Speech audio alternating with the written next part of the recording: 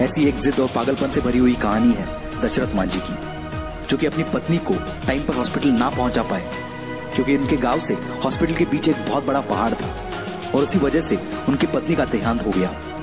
बंदे को गुस्सा आ गया, और इसी गुस्से को उसने अपनी जिद में बदल दिया, और इस बंदे ने केवल छैनी हथौड़े से 22 साल में 55 किलोमीटर का पहाड़ तोड़ दिया। ये पागलपन नहीं तो क्या है? ऐसी जिद तब पैदा होती है जब दिल टूटता है। कुछ लोग तो इसमें बिखर जाते हैं, पर जो इस दर्द को, इस गुस्से को जिद में बदल देता है, उस बंदे को रोकना नामुमकिन है।